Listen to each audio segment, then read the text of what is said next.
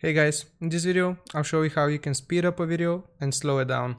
So first off we want to import our media real quick, click on it, I'm just gonna import some random clip or video I have, gameplay footage, match this, doesn't really matter, I'm gonna cut it and play a demo of it. Now this is non-copyrighted music so don't worry about it. As you can see it is all normal speed but how can we speed this up and how can we slow this down? So all you have to do is go to the very end. I'm going to zoom in here until this arrow changes, until the arrow changes to this. And then you have to hold control on your keyboard.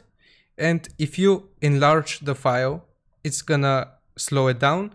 If you shorten it, it's gonna make it's gonna speed it up. So hold control and just drag this like that. So if I play the footage right now, it's gonna be slowed down. As you can see. And if I go back to the very end, hold control again and drag it but reduced, reduce it less than it was originally, this curved line is gonna show, just broken up line. And if I play it right now, it should be sped up.